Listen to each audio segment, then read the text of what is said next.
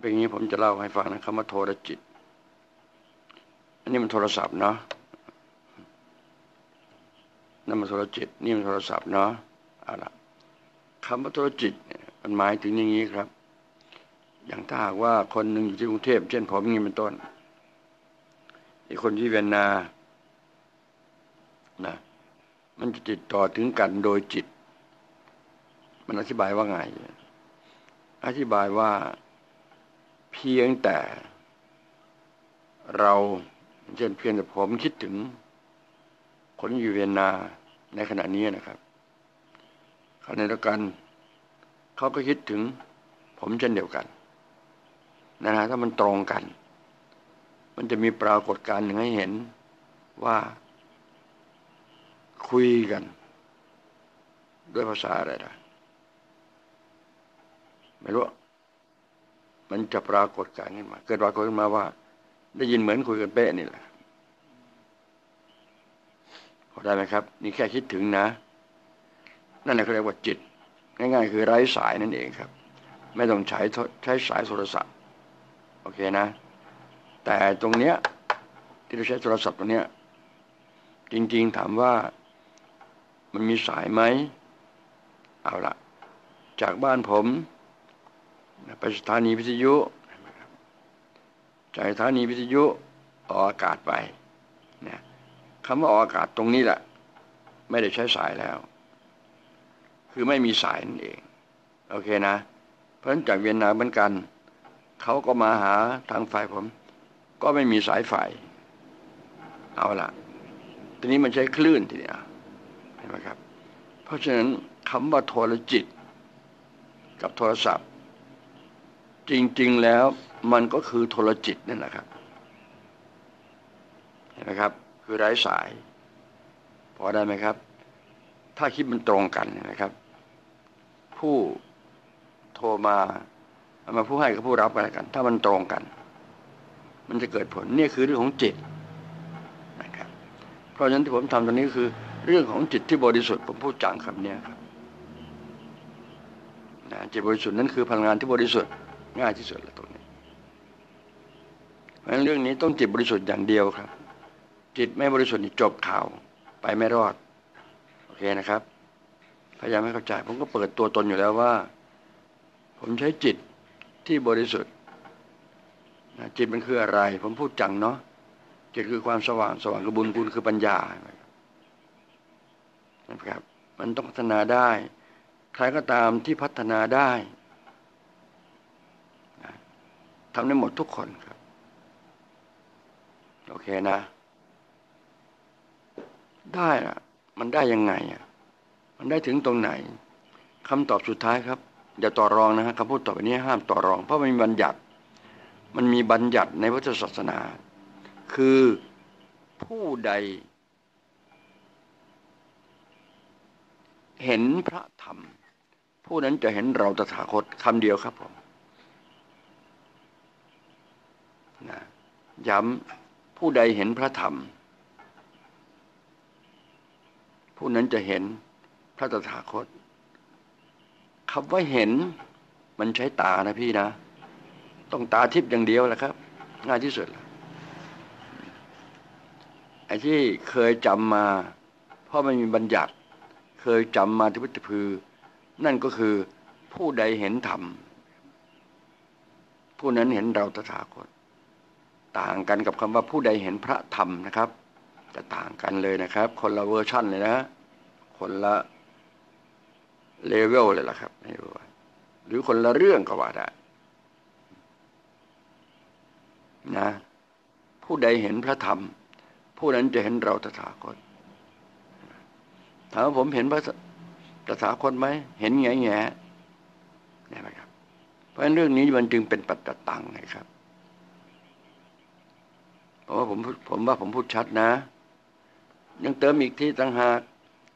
ผู้ใดเข้าถึงพระธรรม ผู้นั้นจะเข้าถึงพระตถาคต แต่ในการเข้าถึงพระตถาคตเนี่ยไม่ใช่ไปถวายข้าวพระตถาคตนะครับ มันคนละเรื่องเลยนะครับนั้นใช้ไม่ได้เลยนะครับนะครับนะครับ ผมไม่เคยถวายอะไรกับพระตถาคต ไม่เคยถวายอะไรกับพระตาคตเห็นไหมพอไหวไหมครับ มันถึงเวลาจะพูดเช่นนี้ที่ว่าเนี่ยถามว่าผมไปประทับทางอะไรเลยครับนอนนอสังเกตไหมครับ อีกครั้งหนึ่งก็ได้ ผู้ใดเห็นพระธรรมใจตานะฮะผู้ใดเห็นพระธรรมผู้นั้นจะเห็นพระตถาคตจบข่าว ประโยคเดียวนี่ชัดเจนเลยล่ะ ทีนี้คำว่าเห็น คือต้องใช้ตานะ ตาที่เห็นพระธรรมนั่นหนึ่งเลยนะครับ นับเหลืองเลย การมองออกจากตัวเราเอง จะต้องเห็นอากาศ อากาศมีไหมมีทำมาเห็นไหม จบข่าวพี่ เห็นไหมครับ มองเห็นอากาศ ห็นไหมครับ ยังไม่พอนะครับ พระธรรมเนี่ยมันซ่อนอยู่ในอากาศอีกเห็นไหมครับเห็นไหมครับงั้น มันไม่ใช่พูดอย่างเดียวนะครับ มันเกินภาษาไปอีกเยอะเหลือเกินงั้นภาษาจะไปไม่ถึง ดีนะภาษาไทยยังพอมีอยู่นะครับ เกินกว่าอากาศ อากาศมีไม่มีเห็นไหม ไม่เห็นจบข่าว เอาละทีนี้ทางวิทยาศาสตร์เขาเห็นอากาศไหม เห็น อย่างเช่นเขาพูดถึงคำว่าอะตอมอะตอมของออกซิเจนอะตอมของไฮโดรเจนอะตอมของคาร์บอนอะตอม เขาใช้กล้องส่องเนาะเห็นอะตอม ขยายไปเรื่อยเห็นไหม เห็น เขาเห็นอะตอม แปลว่าเขาเห็นอากาศนะทำไมเขาจึงไม่สามารถเข้าถึงพระตถาคต เออ ไปทีหนึ่งยังไปเห็นอนุภาคอีกคือมือวิทยาศาสตร์นะครับ ไปเห็นอิเล็กตรอน โปรตอน แล้วก็นิวตรอนด้วย ทั้งสามเป็นยิ่งไปเห็นเล็กกว่า เพราะอาการเนี่ยถูกดีแตกแล้ว จากหนึ่งเป็นสามแล้วอะตอมเนี่ยมัน มันเป็นเพียงหนึ่งประกอบไปด้วยอิเล็กตรอนโปรตอนนิวตรอนตีออกไปทั้งสามตัวแตกแล้วอะตอมแตกแล้ว แต่ทำไมวิทยาศาสตร์นักวิทยาศาสตร์ จึงไม่สามารถมองเห็น เห็นพระธาคตนะครับ เพราะฉะนั้นเรื่องนี้มันจะรู้ได้เฉพาะตาทิพย์เท่านั้นเอง จำนะครับเรื่องนี้มันเป็นเรื่องของอภิญญาใช่นะ ต้องนี้ต้องระดับพระอรหันต์เท่านั้นจะรู้ โอ้ยพูดคำเนี่ยหมายความว่าไงไกสอน เอา้ามันมาถึงยุคจะต้องพูดคำอย่างนี้เข้าใจไหมครับ จะไปยักแย่ยักยันไปไปทำไมเราใช่ไหมครับ จะไปยักแย่ยักยันไปทำไมแล้ว ผมถึงบอกว่าในแผ่นดินเนี่ย ไม่มีหรอกพระนันดินเกี่ยวแขงถ้ามีบอกจะเตะตัดขาให้ดูก็เพราะคำพวกนี้แหละ ใช่ไหมครับ ดูสิไอ้ที่ว่าที่เขาว่าพระทหารเดินดินนะครับเขาจะพูดว่าไงใช่ไหมครับเขาพูดเรื่องอะไรสิ่งเขาพูดเนี่ยมัน มันแบบไหนนะประโลมโลกหรือเปล่าเงี้ยหรือ หรืออะไรอะไรเนาะหรือมุ่งอะไรนะมีนะ ภาษามีแฝงเร้นอยู่นะจะบอกนะผมวิเคราะห์ภาษาได้หมดนะครับภาษาไทยภาษาเนี่ยผมวิเคราะห์ได้หมดนะ บอกนะทราบว่า เรียกว่าแตกฉานเรื่องพันชนะ แตกฉานเรื่องอัฏฐะต้องแตกฉานนะนะเพราะคนที่ได้ตาทิพย์เนี่ย มันจะต้องไปได้หนึ่งอันที่สองคืออะไรบุเพนิวาสารสิทธิยานแปลว่าได้ยานอย่างรู้ไปถึงการเกิดของตัวตนตัวเอง แล้วก็การเกิดของสรรพสิ่งก็แล้วกันครับต้องรู้การเกิดสรรพสิ่ง เช่นอรินไตเงี้ยโลกใบนี้เกิดได้อย่างไรนี่มีคำตอบแน่นอนนะครับ นะแล้วก็หยุดแล้วซึ่งอาสวะกิเลสนั่นเขาเรียกว่าปัญญาวิมุตตินะครับนะเพราะฉะนั้นที่บอกกับผู้ได้เห็นพระธรรมเห็นนะครับ เห็นพระธรรมนะครับ ซึ่งมันต่างจากหลาย ๆ ท่านที่เคยได้ยินมาหลายร้อยรุ่นคนแล้วคือ ผู้ใดเห็นธรรมผู้นั้นเห็นเราตถาคตจำมาเป็นนกแก้วนกขุนทองคำว่าธรรมที่เขาว่านั่นก็คือธรรมชาติ พระธรรมนี่มันเล็กกว่าธรรมชาติ พระธรรมมันซ่อนอยู่ในธรรมชาติเห็นไหมถ้าบอกว่าธรรมธรรมชาติเนี่ยอะตอมนี่คือธรรมชาติ ออกซิเจนคือธรรมชาติเห็นไหมครับ พระธรรมมันซ่อนอยู่ในอะตอมของออกซิเจนอีกคือในระดับนิวเคลียสผมพูดจังครับเนี่ยอยู่ตรงกลางระหว่าง โปรตอนกับนิวตรอน แน่นอนครับ คนที่เขาตรงนี้ได้มันต้องแยก รูปกับนามจากกันได้ แยกอัตตากับอนัตตาออกจากกันได้ ไม่ใช่ได้แต่พูด ทุกขังอนิจจังอนัตตาเนี่ยผมยังเปลี่ยนเลยนะผมยังปรับด้วยเปลี่ยนด้วยครับ เปลี่ยนผมพูดเนี้ยไม่ได้เคอะเขินด้วยกฎพระใจรักนี่แหละครับทุกขังอนิจจังอนัตตาจำกันมาหลายร้อยล้านคนแล้วนะครับ สุดท้ายก็มีผู้คนเอาคำว่าอนิจจังอนัตตามาหากินทีเดียวโอ้โหคำพูดอย่างนี้พี่ ทุกอย่างเป็นอนัตตา แมวก็พูดได้ แต่เข้าใจสภาวะนั้นไหมล่ะเขาถึงจริงหรือเปล่าล่ะนะทุกอย่างเป็นอนิจจัง แมวไหนมันก็พูดได้ถามว่าเข้าถึงไหมล่ะ เห็นไหมครับคำว่าอนิจจังมันคืออะไร เกิดขึ้นตั้งอยู่เปลี่ยนแปลงไปของธรรมาโลกเกิดขึ้นมาปุ๊บเปลี่ยนทันที ไม่มีหยุดนั่นคือกฎของคำว่าอนิจจังคือกฎของความไม่เที่ยงนั่นเอง พอเวลาขึ้นฟ้าไปเที่ยงปุ๊บมันจะไปตรงกับควันควันตั้มทันทีเลยฟิสิกส์ควันตั้มเนี่ยตรงกันเป๊ะเลยครับ ความไม่แน่นอนไงไฮเซนเบิร์กเป็นคนที่อธิบายเรื่องพวกนี้ไหนมาไปได้มาจับโยงได้ไหมพุทธศาสนากับวิทยาศาสตร์สาขาฟิสิกส์ไปแล้วจับโยงกันได้ไหมครับ ก็มันของคู่กันที่จะต้องพูด ใช่ไหมฮะ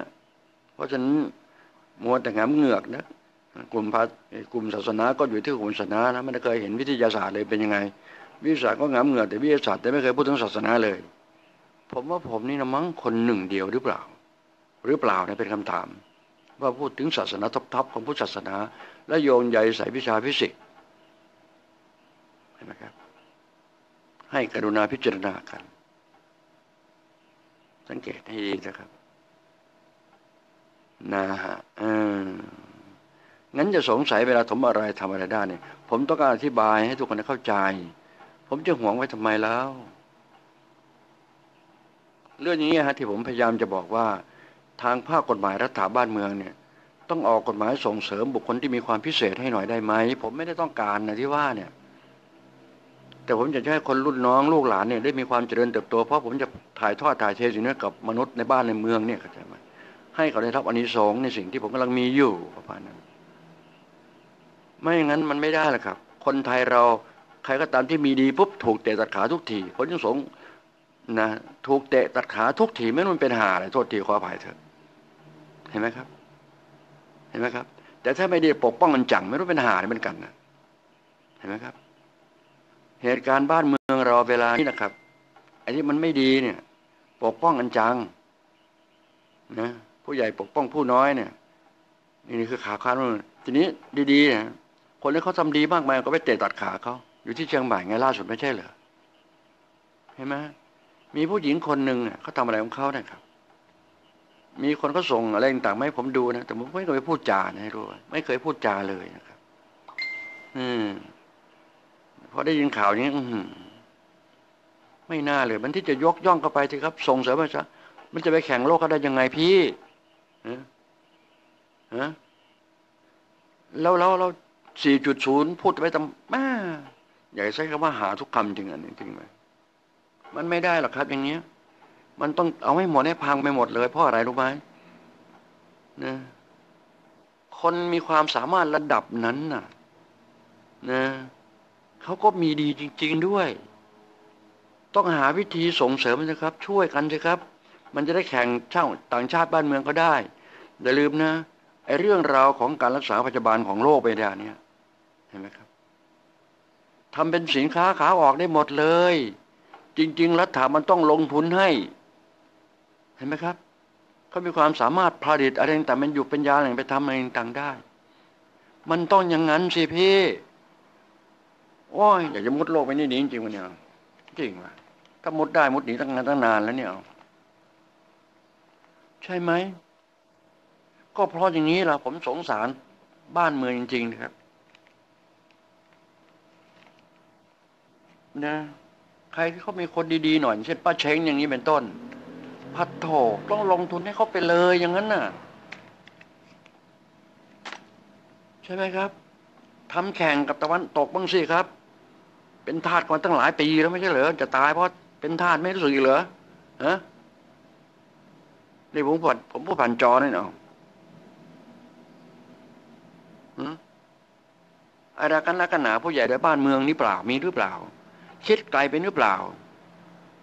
หรือให้หมดกฎหมายนั่นจริง ๆ มันเป็นแบบนั้นใช่ไม่ได้ครับ ใช่ไหมจริงๆจะแก้เป็นทาสก็หมดเลยเหรอนี่เหรอยิ่งทุกวันนี้เศรษฐกิจมันไม่ดีอย่างเงี้ยมีความสามารถเรื่องของสุขสุขภาพนี่ ต้องส่งเสริม จริงวะ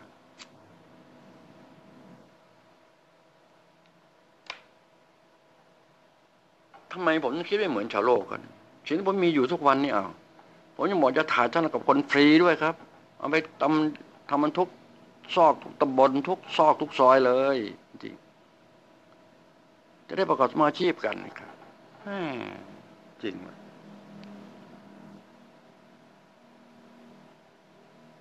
มันคิดไม่ได้ยังไงกัน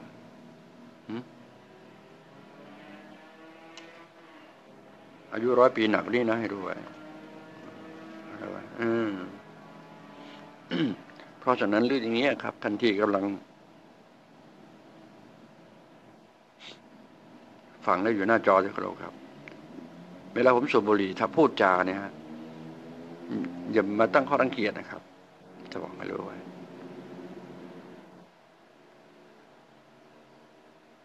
ใช่ไหมฮะ ใช่ไหม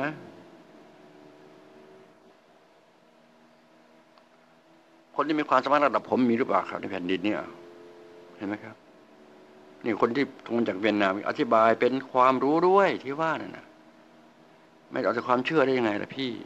มันเป็นความรู้ผูกพันกันมาตรงนี้ครับ ใช่ไหมนี่แหละคือคำว่า โทรจิตโทรจิตนี่นะครับ ที่พูดแต่ก่อนที่พูดคำว่าโทรจิตโทรจิต บัดนี้มันใช้โทรศัพท์ไม่ไร้สาย ไม่มีสายมีแต่คลื่น เห็นไหมมันทำได้ยังไง ผมก็พยายามบอกแล้วว่าจิตบริสุทธิ์เท่านั้นจะทำได้ย้ำเท่านั้น ผมจะหวงไปทำไมเล่าพัฒนาสิครับ ใช่ไหมช่วยเหลือตัวเองให้ได้ แล้วไม่ช่วยเหลือผู้อื่นได้ ที่ผมทำทุกวันก็คือตรงนี้เองใช่ไหมฮะใช่ไหมครับ มีหลายคนมาพูดว่าไกสอนคือหมอ ผมไม่ใช่เด็ดขาด หมอทำไม่ได้หรอกครับ เห็นไหมครับคำพูดคำเดียวเป็นภาษากฎหมายเถอะจริงเดี๋ยวโถออใช่ไหมฮะคำว่ารักษากำจัดอย่างเงี้ยไม่เป็นยังไงกันนะเจ้าคนเขาจะมีความสามารถระดับนั้นมันต้องส่งเสริมใช่ครับ เรื่องสุขภาพ มันถึงจะถูกครับหรือจะให้เป็นคนไทยเป็นทาสเขาต่อไปอีกทีนึง เอางั้นเหรอให้ลูกหลานเป็นทาสเขาอีกงั้นเหรอไม่มีจบสิ้นยังไงกัน มันกี่รุ่นมาแล้วเวลาเนี่ยจริงจริงว่ะจริง ๆ ว่ะ อะไรกันนักกันหนา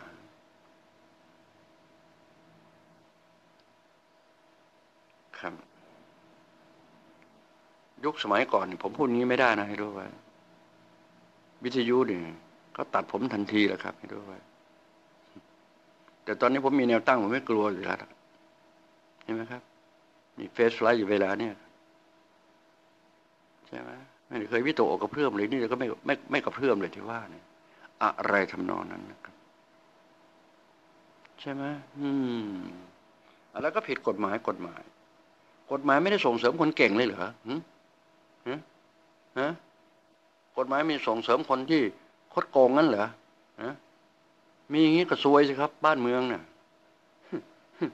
ซวยกี่พบกี่ชาติวะเนี่ยเห็นไหมครับ มันใช้ไม่ได้ พี่ก็แหมยังไม่ไม่รู้สึกตัวเลยเนี่ยผมพูดนี่ผมพูดผ่านอากาศไปอย่างนี้เอา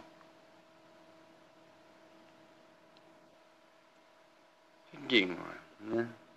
มันไม่ใช่อะไรหรอกครับ ผมสงสารคนรุ่นต่อๆไป สงสารจริงบอกตรงๆผมไปถึงผมจะสะอึกสะอื้นทันทีเลยนะเวลาผมทำอะไรต่างๆผมจะนึกถึงอย่างเช่นไปฮิโรชิมาเนี่ย ไม่ใช่บ้านพ่อบ้านแม่ผมเลยหรอกครับ ใช่ไหมครับ ตายไปเท่าไหร่ใช่ไหมฮะทำไมผมพูดไม่กี่ประโยคนั่นเองนะไม่เห็นเหรอผมเสียแซงเหรอจริง ผมไม่ใช่ดารานะครับ ตีหน้าเศร้าเล่าความเท็จไม่มีหรอกผมไม่ใช่ตุ๊กตาทองนะรู้ไหมแล้วก็ไม่ใช่ดราม่าด้วยอย่างเงี้ย อะไรทำนองนี้ฟังให้คิดครับ ที่ผมพูดผมพูดให้คิดนะอืมมิฉะนั้นแล้วมันก็มีกฎไม่โอกาสที่จะฟื้นฟูกันนะครับ มนุษยชาติเนี่ยบ้านเราเนี่ยมีดีหลายอย่าง พูดจังนไหมครับ แต่มีดีเนี่ยเกิดไม่ได้ คนไทยนี่เก่งไม่เป็นรองใคร พูดไปทำไมเด็กๆไปส่งเสริมโอลิมปิกนู่นนี่นั่นนะครับ ส่งเสริมว่าเต็มที่หรือเปล่าใช่ไหมครับใช่ไหมให้มันเต็มที่ไปสิครับน่ะจริงนะมันจะเสียหายในขณะไหนพัฒนาคนหนึ่งเนี่ยพัดโถ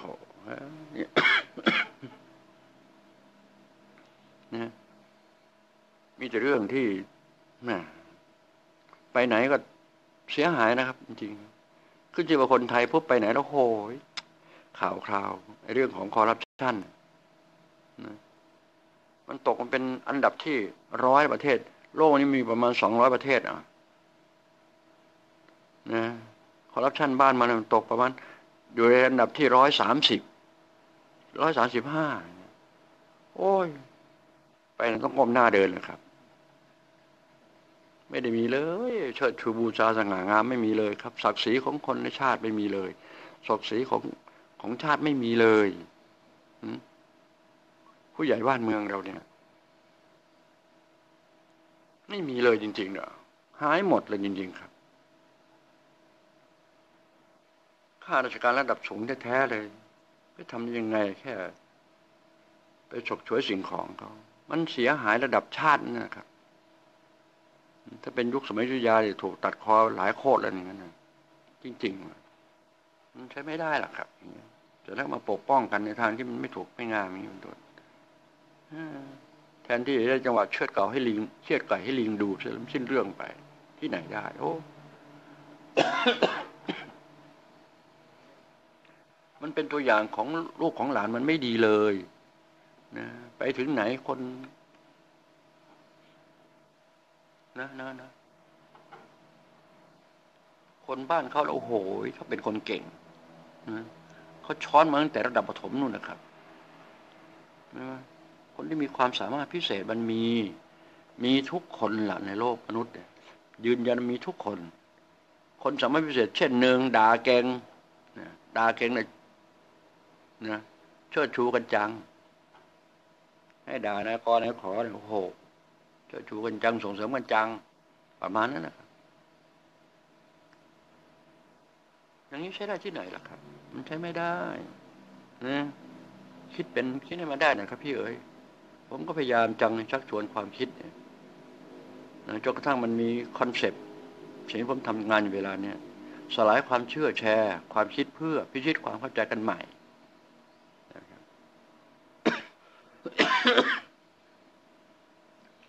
ผมมีในสิ่งที่ดีประเสริฐแท้ ผมยังไม่ให้เชื่อเลยนะครับ ใช่ไหมไม่เคยที่จะให้ใครเชื่อเลยสิ่งที่ผมมีอยู่ แต่อยากจะให้รู้ให้เข้าใจ ให้มันติดเลือดติดตัวทุกคนเขาพยายามหาวิธีผ่านภาษาผ่านกับกิริยาพอสมควรเนี่ยครับ ที่จะให้ยังจับจุดไม่ได้เลยเหรอจริงๆเนาะบ้านเมืองมันพ่ออย่างนี้แหละครับ เหนื่อยใจแทนปฏิรูปปฏิรูปใจนะครับปฏิรูปแต่งงาน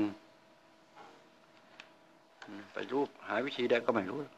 ต้องปฏิรูปใจก็คือปฏิรูปความคิดเนี่ยครับ ปรับความคิดเนี่ยครับปรับเปลี่ยนความคิด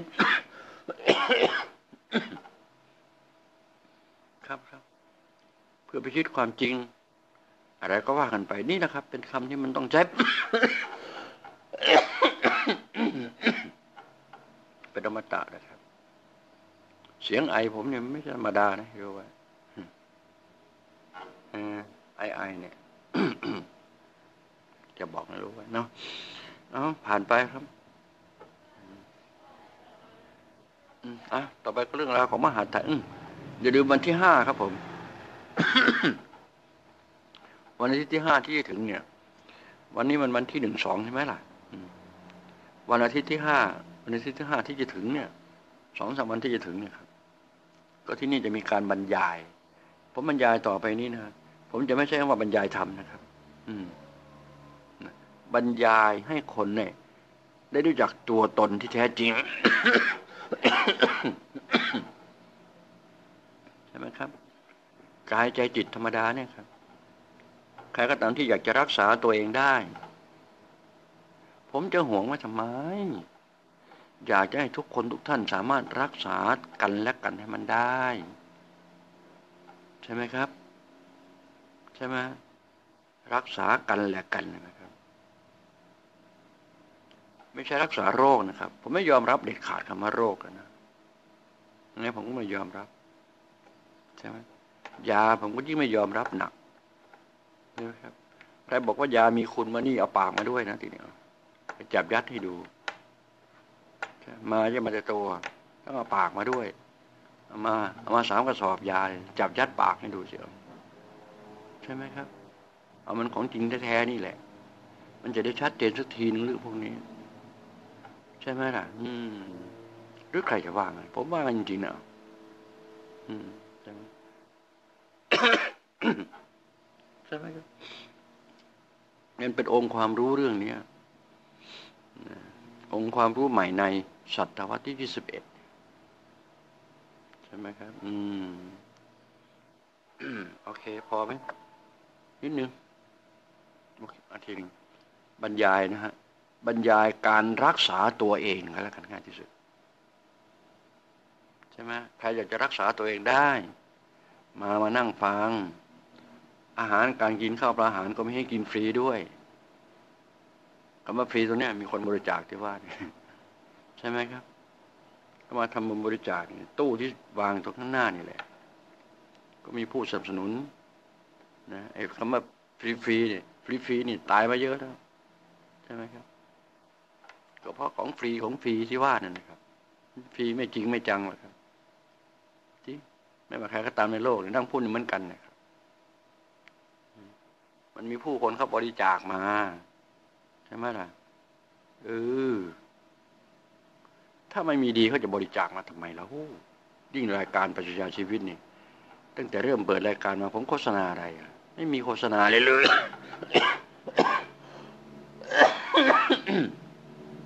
ใช่ไหมเดือนละหมื่นแปดนะเนี่ย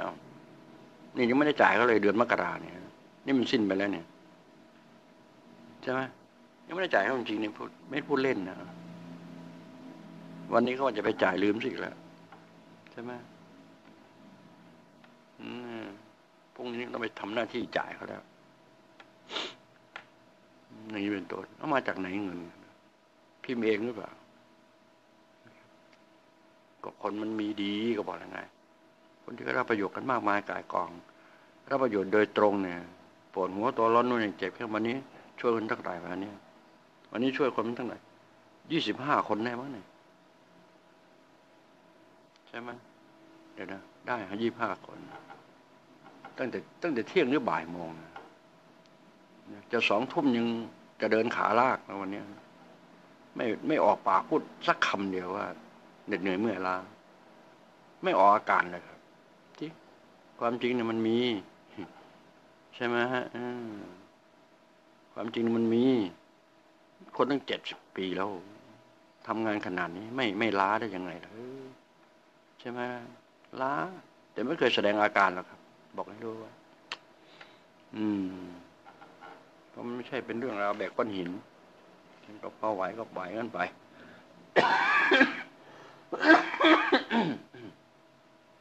เอาตกลงโอเคนะเดี๋ยวเรื่องวันที่ห้ามันเน้นจังตอนนี้ ผมจะบอกว่า ผมจะอยู่ แบบตัวเป็นๆในประเทศไทยมันจะน้อยลงน้อยลง แล้วความสามารถจะออกนอกประเทศใช่ไหมครับ ผมก็พูดกันมานานนะนี้ไม่ใช่พูดเล่นๆนะเพราะสิ่งที่เป็นสุขภาพเนี่ยโอ้โหต่างประเทศเขาอ้ามือรับตลอดเลยเขาที่มีความน้อยพิเศษ ใช่ไหมครับ ประเทศที่เขาเจริญแล้วก็เปิดหมดเลยนะครับ แล้วจะได้พัฒนาไปถึงไหนกันนะครับ ใช่ไหมฮะคนไทยเรานี่นะในโซนเอเชียเราเนี่ยครับ ตะวันออกเนี่ย มองถึงพวกจิตนิยมจิตนิยมเนี่ยครับ จิตมันขึ้นมาแล้ว วัตถุนิยมมันจะเสื่อมใช่ไหมมันถึงเวลาเสื่อมมัน เพราะฉะนั้นพอกันดีครับ เรื่องวัตถุนิยมนะครับ เลิกสร้างกันได้แล้วล่ะครับ ใหญ่โตมโหฬารสร้างแล้วก็นกกามาขี้ใส่หมด พอแล้วล่ะครับไม่รู้ใครสร้างใหญ่แค่ไหนก็ตามทีว่านี่ศักดิ์สิทธิ์นะขังนะว่านี่เยี่ยราดให้หมดจริงพูดมันอย่างนี้แหละไม่จะเกรงใจใคร ช่ไหมครับ อืม สงสารไม่ใช่สงสารคน คนทำบุญก็มีเยอะ คนทำบุญก็ฉลาดน้อยจังประมาณนั้นนะครับนะพอกันดีครับอะไรก็สู้ความนึกความคิดไม่ได้หรอกเชื่อเถอะครับ คิดให้มันดีคิดมันเป็นคิดให้มันถูกก็แล้วกันใช่ไหมสลายความเชื่อแชร์ความคิดกันนี่นะครับอย่าไปห่วงว่าทำไมเราเออถ้ามีดีก็ห่วงไปทำไมเรา ผมเขาไม่เคยหวงเด็ดขาด ยิ่งจะให้ โอ้จริงนะผมพยายามพูดแล้วว่า มนุษย์มันอยู่คนเดียวไม่ได้ ผมก็อยู่คนเดียวผมผมไม่ได้ นะ ใช่ไหมครับ แต่อยู่ที่ไหนก็ได้นะโลกใบนี้เอาเห็นไหมครับ อยู่ที่ไหนก็ได้ เมื่อไหร่ก็ได้ อยู่ที่ไหนก็ได้ ไม่เปลี่ยนคำพูดด้วย แต่มันอยู่คนเดียวไม่ได้ก็แค่นั้นเอง ใช่ไหมอืมยิ่งคนที่มีความสามารถอย่างผมมี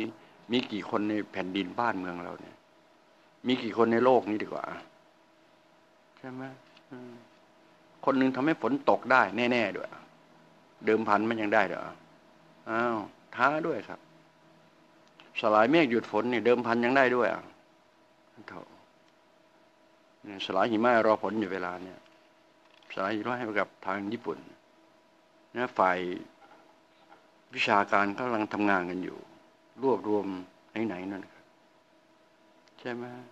มันมีแล้วมนุษย์พันธุ์นี้เกิดมาพูดจาอย่างนี้แหละสิ้นเรื่องไป เวลาพูดก็พูดอย่างนี้แหละถ่อมตัวมานานนัก ปิดถ่อมมาถึงกี่ปีแล้วตั้งแต่ปีสามเจ็ดมามันกี่ปีน้อยชั่วเมื่อไหร่กันตอนนี้เปิดมันทั้งหมดที่เรื่องไป นะ ไม่งั้นไม่ได้ เอาพอไหมเนี่ย นิดนึง เดี๋ยวนะอะต่อไปเรื่องเรามหาไทยเชิญครับผมอะไรฮะอืม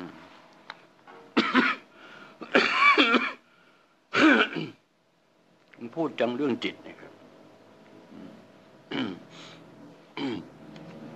เราเวลามีแล้วมีประสิทธิภาพสูงสูงแล้วก็ผมนึกถึงนู่น ผมอยู่ ใช้สนามฟุตบอลรักษากันเวลาเนี่ย ผมคิดไปไกลขนาดนั้นไหนรู้ใช้สนามฟุตบอลเนี่ย มาจะปล่อยพนักงานตัวนี้ให้ วันที่ห้าเนี่ยมา ผ่านจอทีวีได้ด้วยเห็นไหมครับ พนักงานที่พูดเนี่ย พนักงานที่บริสุทธิ์นี่แหละ มันมาจากจิตที่บริสุทธิ์ จิตมันซ่อนอยู่ในกายของคนพูดนี่ คนหัวงอกเนี่ยใช่ไหมก็การค้นพบตัวเอง การค้นพบในสิ่งเหล่านี้ ไม่มีตำราเล่มไหนในโลกจะไปหา ที่ว่านี่ตำราไปไม่ถึงหรอกตำราเล่มไหนเราอ่านจบแล้วก็ได้สิ่งที่ผมมีเหมือนผมที่ผมทำเนี่ยมาถ้ามีจะบอกนะไม่มีหรอก ถ้าคิดว่ามีวันนี้จะเผาทิ้งให้ดูเนี่ยพูดอย่างนี้เลยเวลาพูด ก็เพราะมันไม่ได้มันไม่มีจริงๆนะเพราะสิ่งนี้ไม่ใช่รูป มันเป็นนาม จิตนี่มันเป็นนามธรรมล้วนๆเลยเราบริสุทธิ์ต่างหาก ช่ไหมครับครับ จิต ไม่ใช่ไฟแช็กแต่มันซ่อนอยู่ในไฟแช็กนี่นะเนี่ยมาเสมือนกันเดียวกันนะครับ มันเป็นทุกอย่าง อยู่ทุกที่จิตเนี่ยไหมครับ มันเป็นค่าคงที่ในบริสุทธิ์ค่าคงที่เลยใช่ไหมครับ นี่คือการค้นพบ ไม่มีใดที่ยิ่งใหญ่เกินไปกว่าการค้นพบตัวเองบอกให้ทราบไว้ นะเป็นการค้นพบทวีมีการนะชื่ออะไรไม่รู้นั่นจำเป็นประวัติศาสตร์กันมา ตอนในหนังสือเราก็จำแม่นตอบผิดได้คะแนนที่ไหนเล่าบังคับให้มันประวัติศาสตร์เขียนผิดก็ผิดหมดแลครับ เละเละตุ้มเป๊ะเลย ใช่ไหมครับนะรู้ไหมนาทีนี้เนะ่ยมีคนพูดแล้วนะครับว่า อักษรภาษาไทย ย้ำมีคนพูดแล้วนะ ว่าอักษรภาษาไทยเนี่ยมีปรากฏอยู่ในหลายๆแห่ง สถานที่ที่เป็นสัญลักษณ์ของวัฒนธรรมของมนุษยชาติด้วยครับหนึ่งนั้นนู่นอยู่ที่อียิปต์นะครับอยู่ที่พีระมิดนู่นนะครับภาษาไทยนี่แหละครับ มีคนเขาค้นเขาตามนะดูสิครับนะอยู่ในนครวัดนครธมนั่นนะ ย้ำภาษาไทยนี่แหละครับ เห็นไหมก็แปลว่าไม่ใช่ภาษาขี้ไก่นะภาษาไทยนะผมก็พูดกันมานานเหมือนกันนะว่าภาษาไทยนี่จะเป็นภาษาที่สำคัญมากมากมากผมใจคำว่าสำคัญมากนะครับนะใครก็ตามที่รู้จักคนต่างประเทศเนี่ย สอนให้เขาไปเลยฟรีๆเลย เป็นอะไรไปแล้วถ้าทำได้นะ ให้เขามาใช้ภาษาไทย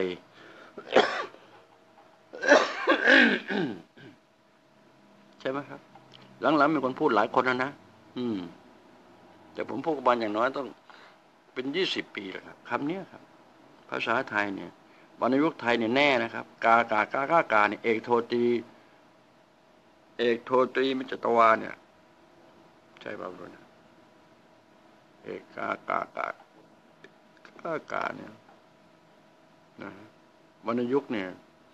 นี่แหละคือสำเนียงเสียงที่เป็นธรรมชาติที่สุดเลยภาษาไทยเนี่ย ต้องยกย่องนะครับ คนที่ประดิษฐ์ตัวอักษรไทยนะตัวอักษรคือพยัญชนะ ประดิษฐ์สระอาอาเอเออีอีโอโออูอูอัมไอไอเอาเนี่ยนะนั่นแหละครับพวกชนชนะ แล้ววรรณยุกตามทีนึงเลยกากากากากาเนี่ยครับ ในตรงนี้นะครับผสมผสานกัน มีมีภาษาไทยภาษาเดียวมั้งมั้งมั้งที่มีคำผวนนะครับนะพูดคำนึงก็มีความหมาย รวมสองคำก็มีความหมายไปเรื่องคำผลนี่อีก กลับมา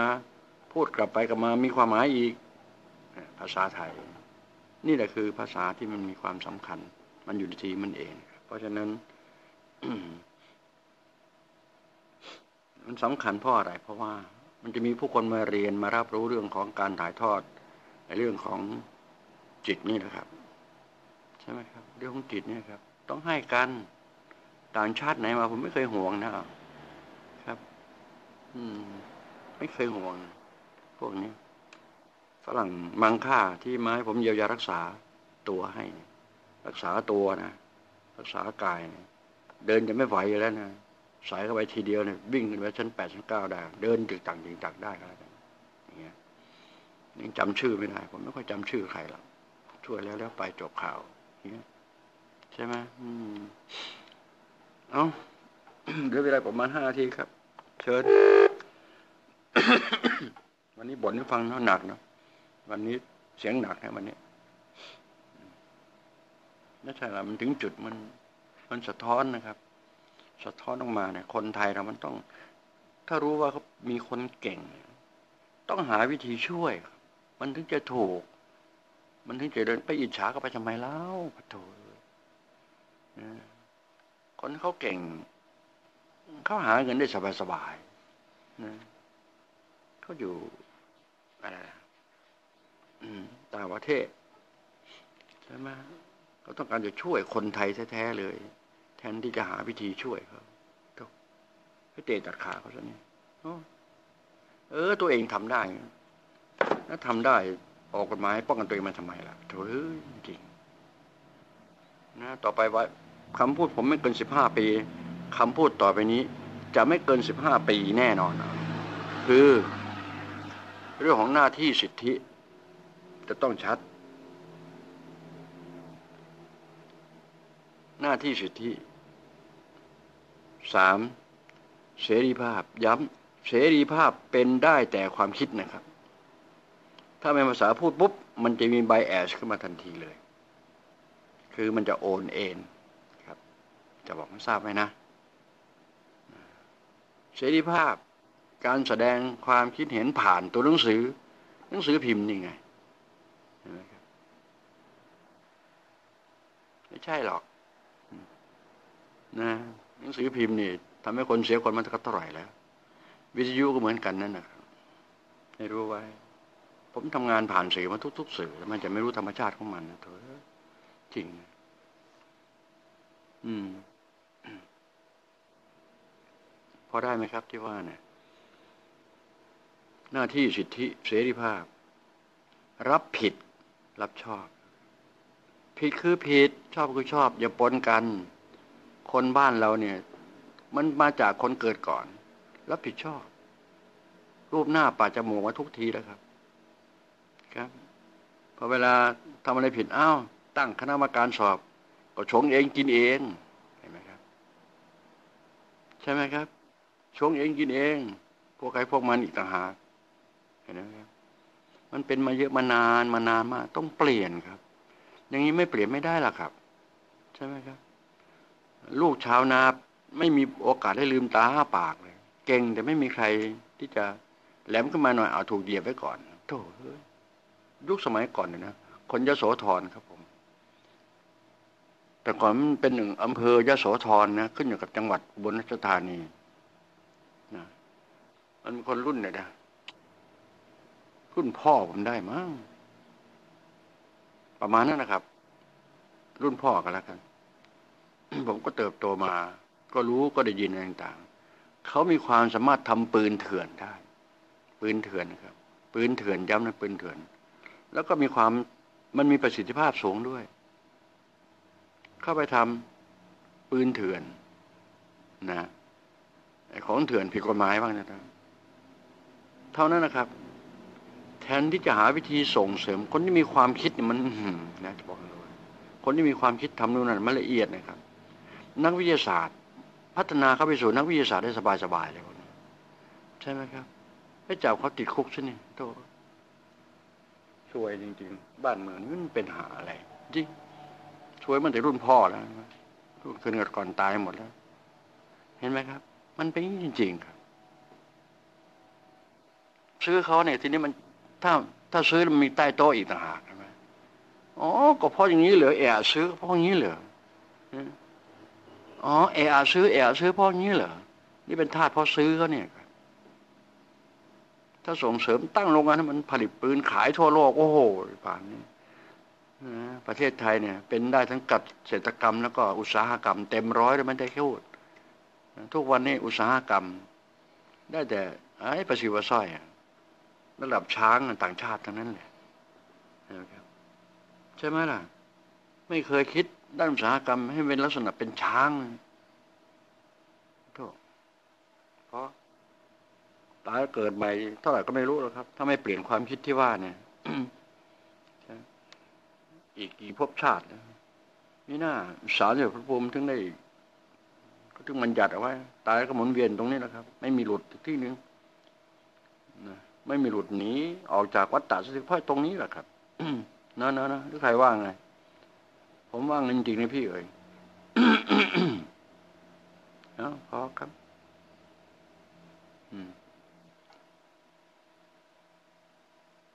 ไปไหนล่ะ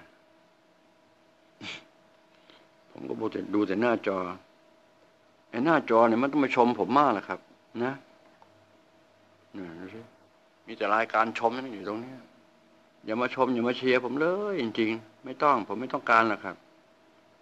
ต้องการอยากให้นำเอาสิ่งที่เป็นแนวความคิดหลักๆนะแล้วแชร์กันออกไปตรงนั้นนะอย่ามายกนิ้วให้กับผม ผมไม่สนใจหรอกไม่รู้มันไม่จำเป็น มันเกินที่จะชมแล้วจริงๆทำนองนี้ครับ ผมไม่เคยติดใจคำชมนะ บอกให้ทราบไว้ประเภทไม่เหมือนชาวโลกเป็นอย่างนี้ทั้งหลายก็ชอบในคำชมนะโอ้ย ยิ่งเขาบอกว่ามีวิวเยอะๆนี่ยิ่งชอบโอ้ยผมไม่เอาหนักจอ หนักหน้าจอ แบบนั้นหนักหน้าจอจริงนะนะนะไม่ได้สนแล้วครับ เอามันเนื้อๆดีกว่าเอาเอาประสิทธิผลจริงๆให้มันเกิดประโยชน์โดยตรงเนี่ย ฟังก็ได้รับประโยชน์ประเทืองปัญญาเงี้ยเดี๋ยวค่อยได้เปิดโทรมาก็หายมันดื้อๆเงี้ยครับ นี่คือของนี่มันประเสริฐที่สุด ย้ำทีไม่เคยห่วงนะอย่าลืมวันที่ห้านะนั่งฟังจะได้รักษาเนื้อส่วนตัวเองนะไม่ต้องไปเสียเงินทองใช้จ่ายให้ทางผลผลิตทั้งนั้นมาจากหลังนั้นมาจากทางตะวันตกมันมากันกี่ร้อยปีแล้ว ขายข้าวเท่าไหร่มันจะพอทีเนี่ยโอ้พอแล้ว ความจริงอยากลุกหลี้ไปตั้งนานแล้วมันติดเวลาเฉยแล้วถูกเวลาลงจับไว้น้ำป็นยาพี่จับไว้น้ำขายน้ำมันนะผู้ใดก็ตามที่มีทุกข์เขาพัฒนาแก่กายเพียง แต่ขยับเยื่อนพร้อมเคลื่อนที่แหล่งในใจสิ่งไม่ดีทั้งหมดไป ไปอยู่กับคนหัวงอกสิ่งไม่ดีผมขอรับแต่สิ่งที่มันไม่ดีอะดีๆท่านก็เก็บเอาไว้สิใช่ไหมในตัวท่านน่ะอะไรก็ตามไม่ดีเนี่ยอะไรก็ตามที่รู้ตัวไม่ดีไป ไปก็ท่านบอกว่าไปแต่ผมบอกว่ามานะมาอยู่กับผมก็แล้วง่ายดี อ้าวไป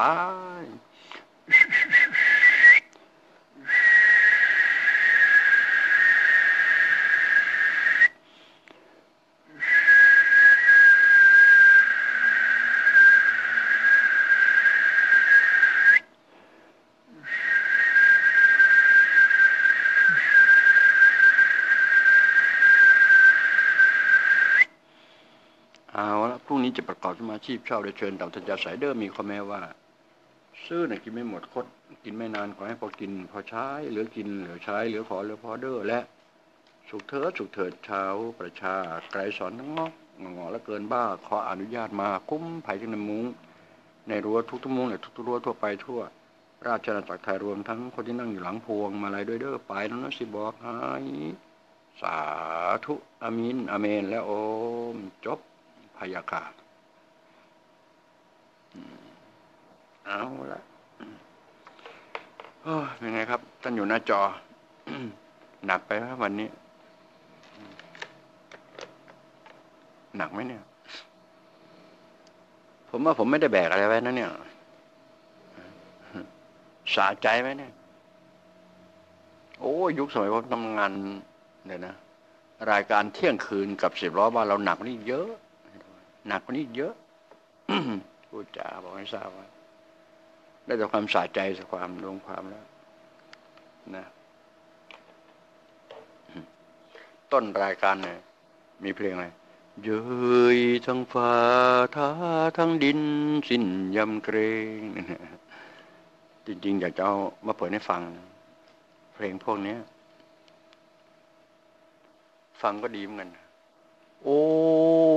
ดาว ไรราขีขาวอะไรเนี่ยฟังแล้วพอนะเพลงพวกนี้ข้างหลังนี่เพลงมีแต่เหมือนกับอย่าไปวิจารณ์ไม่ดี วิจารณ์ได้ทั้งทั้งทุกเม็ดนะถ้าจะวิจารณ์อ้าวพอ นั้นนะพี่นะ ขอไปนอนหน่อย thank you very big ครับ